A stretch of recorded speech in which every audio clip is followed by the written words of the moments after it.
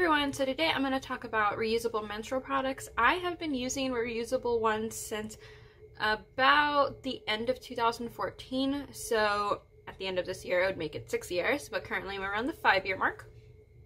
And I just wanted to go over the products I use, my experiences with them, and all of that. So the first thing I'm going to talk about is my the pads. So I actually only have one brand of pads because I pads pads and the cup do both last 10 years if you take care of them and these are completely still fine. I mean they're about five years old give or take. So they're all from precious stars she has a youtube i'll link her below. But i got these when see i got some of them in 2014 some of them middle of 2015. So I tried a few in, in the end of 2014. And then I bought more, and I believe in 2016. And then I pretty much stopped because I didn't really need any more. This is not even all of the ones I have. I have one still in my bathroom, but I also have a few stashed here and there for any like emergencies. So the basic ones that I have from her, and I love all the prints, they're so cute. They're all bamboo velour. I can show you one. So this is how it looks like on the other side. They're all bamboo velour. There's some fuzz on it. And they all have, well, the, the larger ones have double clasps, which I love. So this is a overnight pad. Um, get a regular one. Pretty much have regular overnight and then panty liners. Love the print, so cute. Okay, so this is a regular. That's about the size and it only has one clip. And then these are the panty liners. And they're a slightly different shape than the other ones, but they still, these do have um, two clips as well, so you can, you know, do them as tight as you need on your panties, so they kind of sit like that. So I realized I just said the panty liner has two clips, two buttons. Um, actually, it has one, you know, clasp on one side, giving you the option of two different sizing on the other side, so it's 1 to 2. Same as the regular, it's 1 to 2. And the overnight is 2 to 2. So you can have a good grip because it's overnight and you move more. Sorry about that. And yeah, I have a few of these, maybe five, something like that. I don't use the panty liners too often, but I do use them. Uh, probably on like the last tail end of the cycle but mostly I use these, the regular and then the overnight ones. They are so comfy. I so one main thing for me that I really love about um, cloth pads, other than you're not just constantly throwing away pads, is that stickiness that happens if you kind of have it a little wrong or if it like shifts a little bit. It feels so bad and I'm glad that I I won't say I haven't at all in the last, um, what, five years that I haven't used any. I still have a few here. This is a disposable one. I do carry some. I have this one. I think I had to buy because emergencies. And then I have another type and I do have tampons, but really I buy them once and then maybe the whole year goes by and I may not even still finish the box because I primarily use my uh, reusable ones. So Another benefit to them is, as I mentioned, they're so comfy. So other than the stickiness that happens if you have it the wrong way, when you're already having a rough go because maybe your period kind of hurts or anything like that, it's actually really nice to have like a soft thing that you're on. And it, it's not really, I w wouldn't say I've ever gotten um, irritated by any of them. They're just really, really soft and bamboo velour is definitely my favorite. And another thing I would say is that, I mean, I save so much money. That's basically the thing. I haven't bought, my last like set I bought was in middle of 2016 and I have not had to buy more since. Um, so let's just, I mean, just think about how much money, how much money I've saved. I should have calculated that. If I decide to calculate it while I'm editing, I'll throw it up there, just a rough estimate. There was a good period of time when I was on an IUD and my IUD um, kind of stopped my period every now and then. It was like intermittent. Uh, so I didn't quite use them as much, which probably helps with the longevity of them anyway, since I wasn't using it all, all the time. I do try to cycle them into my cycle. so I'll try not to, even though I, for some reason, I really love this one, especially because of the print. I'll try my hardest not to use it like twice in a row. Um, like one like say January and February. I'll try not to do that. I'll try to cycle into another one. But you know, it also depends on how many pads I need that time around. Maybe I have to use it anyway. So I try my hardest to do that, but otherwise I don't really think about it too much other than I make sure that they're clean. Really, that's that's all there is to it.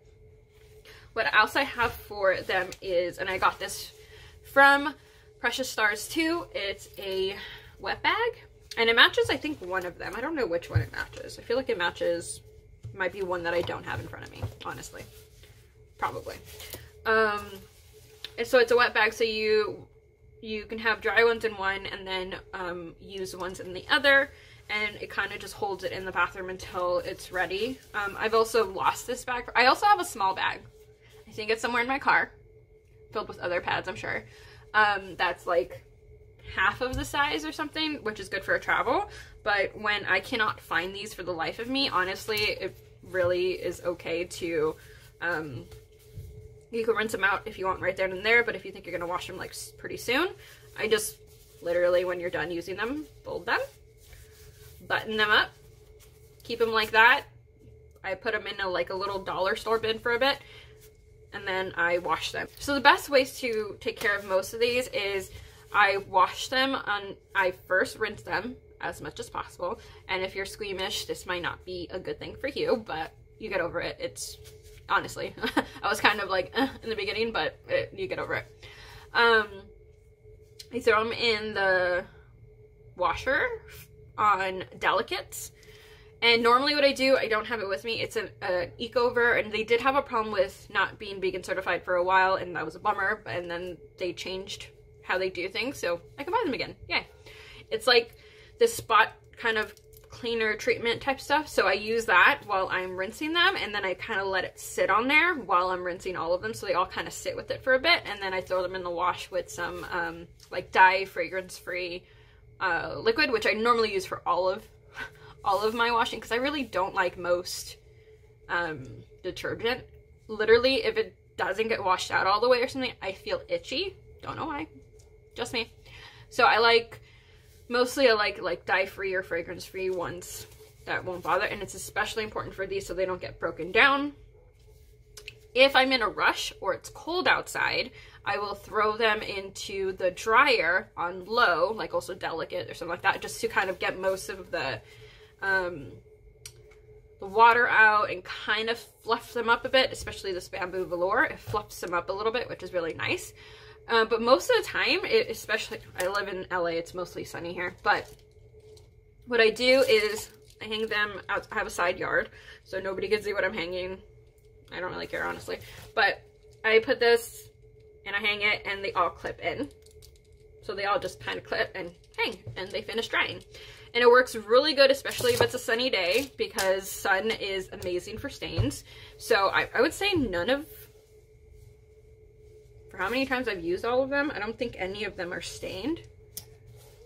Oh, I mean, they're all good. This one has like a dent in it for some reason, but yeah. None of them are stained. They're all completely clean. And I think the only ones I've had trouble with before are these white pads. Those can stain. Luckily, I grabbed two that I have no, no stains on them. They're just really nice. But every now and then they might stain a little bit. If it's clean, it's clean but sometimes you may need to soak them a little bit to kind of break down whatever needs to be broken down from it. What I also use is a cup. And I don't always use a cup if I'm very, very crampy that time. I don't like personally using a cup, but especially when I was a parking officer, the cup was a lifesaver because you can have it there for 12 hours and you're, you won't get sick or anything from it and it's just it's just perfect. So what I normally did when I worked like super long shifts, especially walking around a lot, and either most likely I would use a cup and then pair it with either a panty liner depending on the day, or I'll put a pad just in case, especially if I kind of I'm not paying attention because if you don't have these pop up in your cervix like nicely like that, they, and it's kind of popped like that, it's gonna leak, and that's a problem. So I like pairing them up when I'm having a long day, but most of the time I don't, which is also nice. It kind of gives me some breathing room because you know how it is, especially if you're having a long menstruation period. No pun intended there. If it's like a longer one, like seven, eight, nine days for whatever reason, it kind of gets annoying having something extra in your underwear. So having this is really, really helpful. I do have two. What's sad, sad and funny about my Ruby cup, this is a Ruby cup. I should, probably should have said that. It's Ruby cup. I bought one also um, in 2014 when I bought everything together. Because um, I at the time, I don't know if she's doing it anymore, she actually sells them in her shop. She has a few cups. I just don't know if she sells rubies anymore. She might. And that one I lost. I don't know how I lost it, but honestly, you only need to buy really one and you're good. There's some people who literally have like so many cups and I mean that's fine too if you want a different cup every day. That's great. If you need also if you happen to need a different cup per part of your days, sometimes you're very cramping, you can't handle certain like this one's kind of squishy, but there's some that are firmer. If that makes sense, if you do need that, get them. But for the most part, you typically only need one and it will last you 10 years. These are medical grade silicone. It will last you that long and then you don't need to buy anything else um, if that works for you. So this is actually my third one because I lost the other one too and I almost lost this one. I found it. And I also have I think this is, I don't know what brand this is. Athena? I just got it on Amazon. Um, I can open it. Okay. So I can show you the differences between them so you can see that there are differences. Did I mix them up? No. It'd be funny if I did. Yeah, no, it says Athena cup inside. So this is how they are. If you can tell, the Ruby cup is shorter. So it's much shorter but it's a little wider. I don't know if that's that's not to help. It's a little wider, I would say. However, the Athena is wider at the top. So this one's a little more elongated and it has a shorter natural stem. Here's the thing. I could cut this off, but every now and then I do need that long stem, so I don't want to cut it off. This one's a pretty good length when I can handle that length. Sorry, almost dropped it. Okay, so the length of it can be very dependent on the person who's menstruating. They may need a shorter one, which in that case, if they get a ruby cup, for example, they can actually cut this off. You can't cut too closer to it because if you cut too close, you will just make a hole. Um, but there's some cups that are just naturally shorter. And then this one is naturally longer. And these these are literally examples of probably hundreds of different types of cups, different types of sizes, different types of firmness. I would say this one's a little firmer than this one, just, just like by a hair. Um, and this one's firmer definitely on the on the ridge right here. And this one's not as firm. These both, and not all of the cups too, um, will show you like milliliters. I think this goes, they both go up to 15. So they're both 15 but they have different, I don't know if you can see that. So this one has, put that one down, 5, 10, and 15 for the Ruby Cup. That is what you're measuring if you want to measure. And then the Athena Cup is 7.5 and 15. So it's 7.5 and 15. Not everybody measures. I typically don't.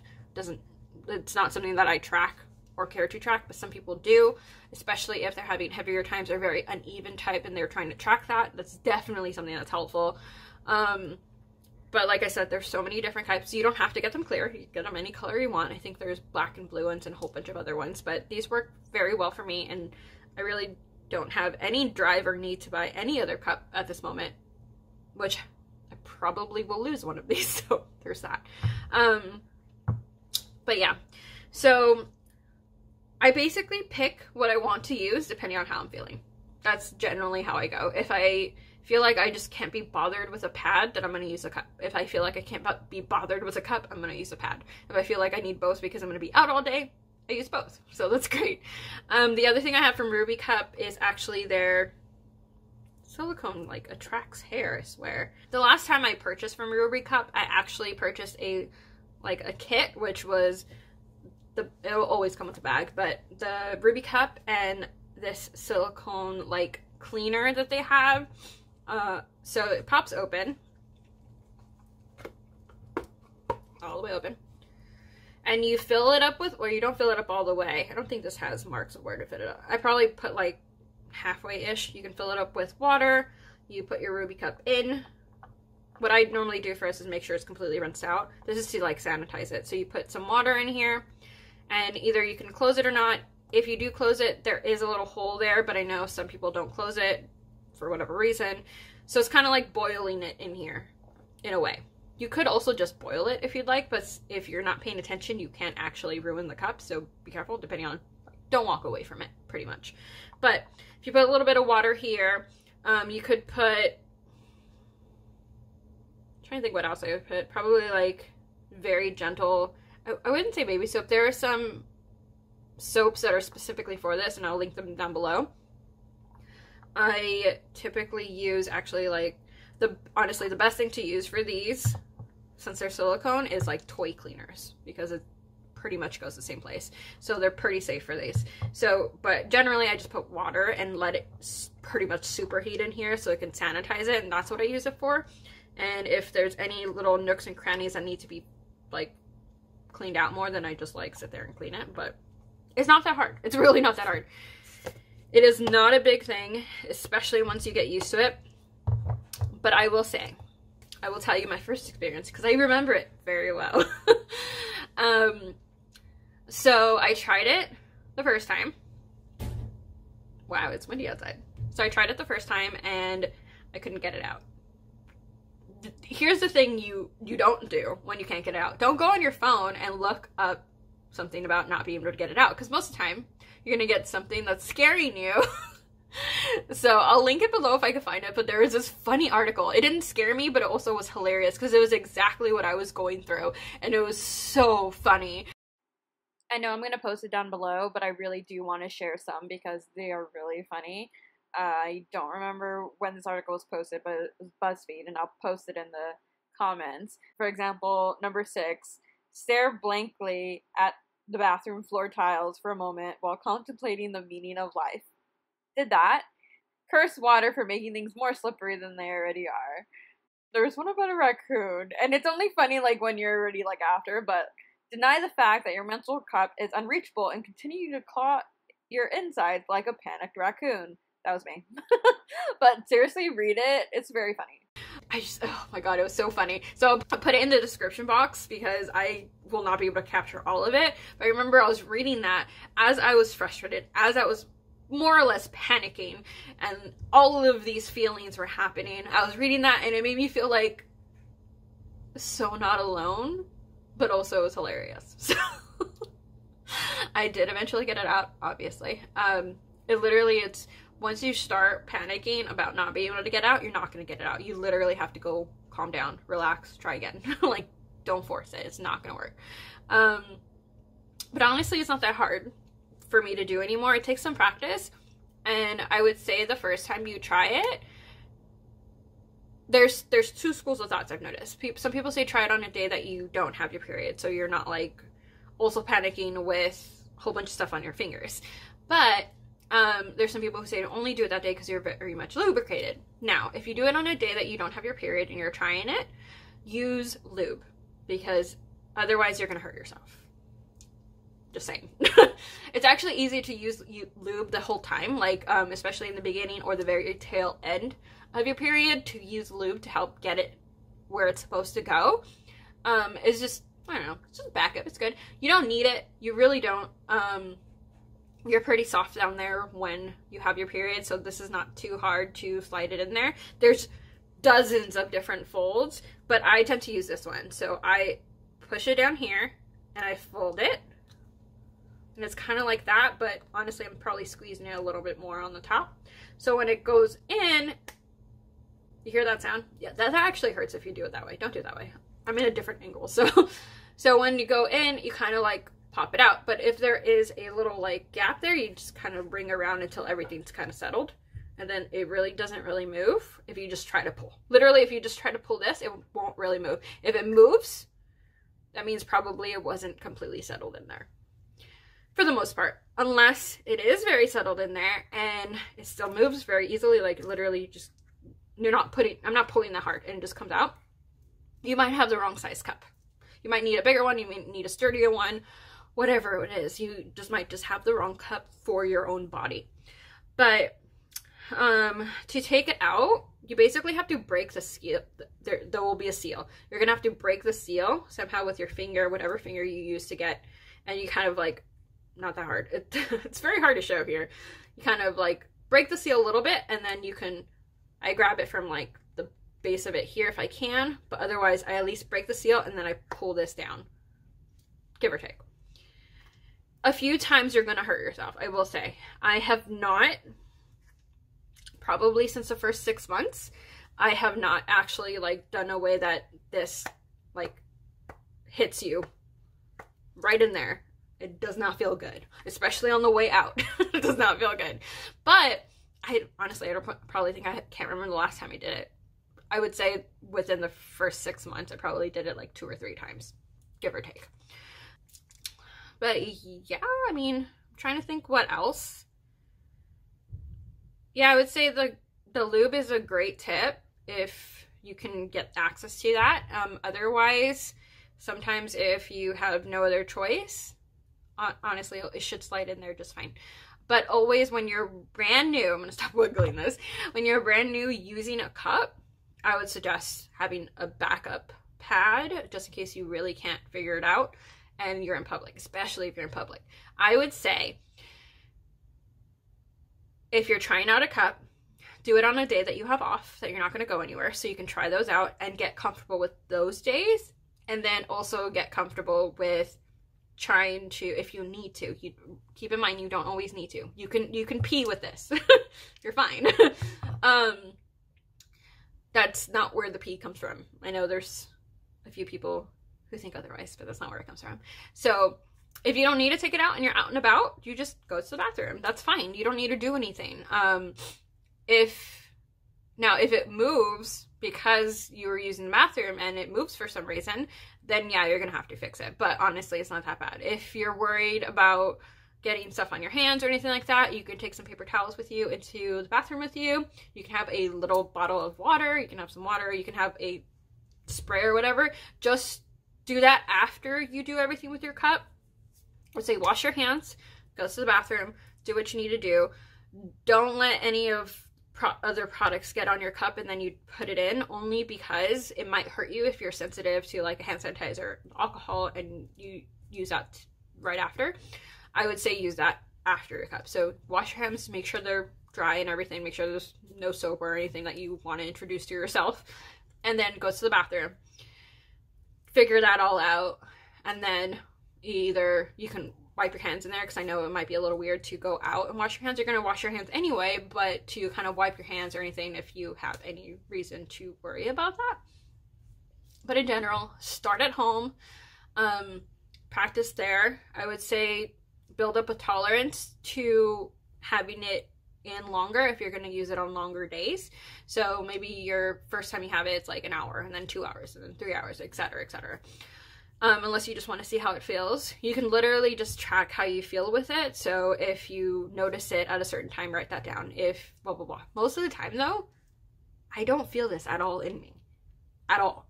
like, it's there. It's good. We're done. We're good, fam. That's it. um, but when you're starting, there's it's going to be like, there's something there. What is there?